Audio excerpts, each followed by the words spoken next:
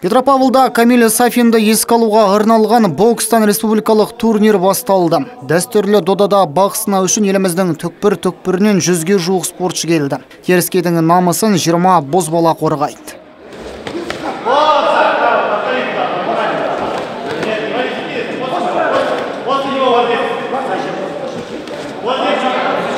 Шаршаланға шыққан әрі боксшы оқтаулы тұрған мылтықтай. Орайы келгенде соққы бағыттайды. Қос қапталдан, иектен және бауырдан ұрады. Аяқтарда жылдам қимылдайды. Жастардың техникасы кез келген жанды таң қалдырады. Данный турнир проводится с 97 года.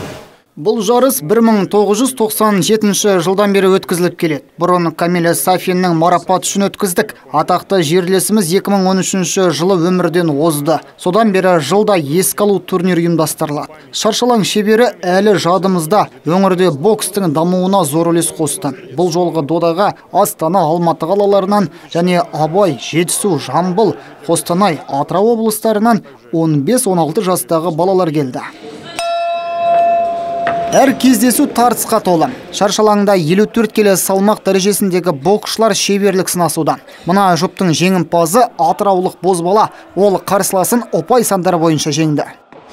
Оның слабый жерлерін анықтадым, байқадым әдіс тәсілдермен. Және де осылай жеңіске жеттім. Международный турнирлерден чемпион болдым, республиканскийлардан чемпион болдым. Және осы турнирлардан да чемпион болам деп ойлаймын енді. Республикалық турнир сенбі күні өз мәресіне жетеді. Бұл жарыста өңіріміздің үздік боксшылар анықталмақ. Олар қараша айының соңында жалауын желбірететін ел біріншілігінде облыстың намысын қорғайды. Байболат Бектемірұлы, Матвей Колесников, МТРК. Алда, алда, алда, алда, алда.